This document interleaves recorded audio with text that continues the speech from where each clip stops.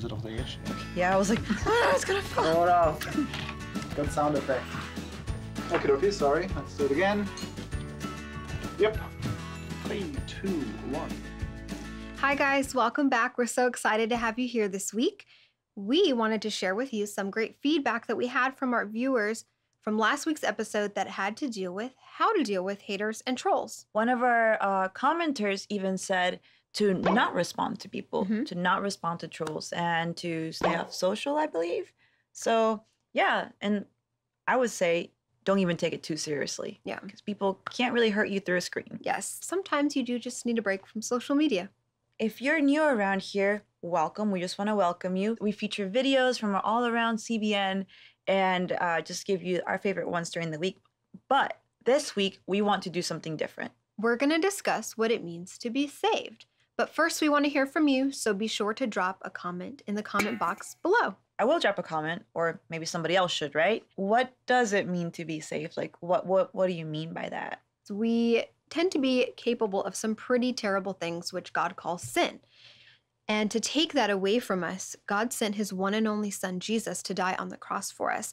And that act put all of our sin onto Jesus. And it doesn't make us not responsible for our actions, but it gave us a way to be free from those terrible things that humans do. I don't know of any other little g God or any other religion that a deity would give his one and only son, you Mm. know, his own flesh and blood, give them up in a sacrificial way to have a relationship with me, like just to have a shot at a relationship with you, with me, with anybody. That's true love, sacrifice. I love that. What is your story? How did you become saved? How did you become a Christian? I grew up in a Christian household. I was aware of the church from a young age, but I really encountered God in my teen years when I started to struggle with anxiety and um, just this sense of needing to be in control all the time. That was so tough for me. It's such a burden to carry. And I realized that God does that for me. God carries that burden. And I didn't have to spend all of my time worrying or struggling with that anxiety of trying to be in control when God had it all of the time, anyways. I think we all struggle with this idea of perfection, which as humans is definitely and totally like unattainable. Mhm. We can't be our own God. Yeah. You know, we can't save ourselves. Amen. Tell us about your salvation story. I grew up feeling really like inadequate, not good enough. I shared uh, a couple weeks ago when I was really young, I was taught that there was a God and that He was good. So I knew those two things, but He let my biological mom pass away. I questioned how can I trust a God who says He's good, who allows me to go through so much pain and something so primal that we need you know we need to be parented. We need to be you know comforted and protected and loved and taught how to grow up. I had a really hard time had a lot of doubts growing up even in, in the church. I didn't want to like commit to being a christian because i didn't want to be fake.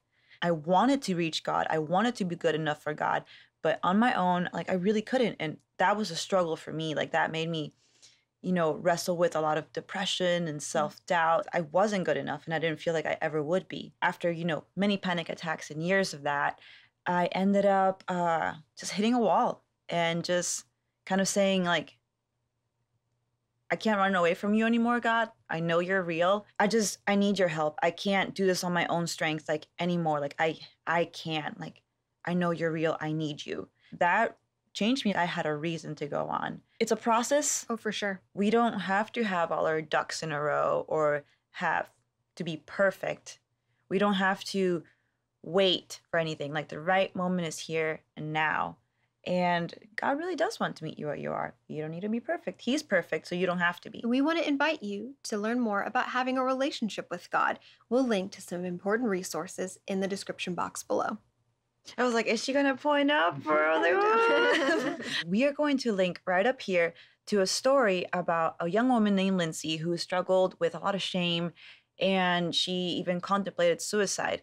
But God met her in an unexpected way. So watch the story above. I was on the verge of tears when I was watching it, which I was watching it at work, so I had to like dial it back, but it was really encouraging. And at first, to see Lindsay struggle and that we can all draw similarities um, Yeah.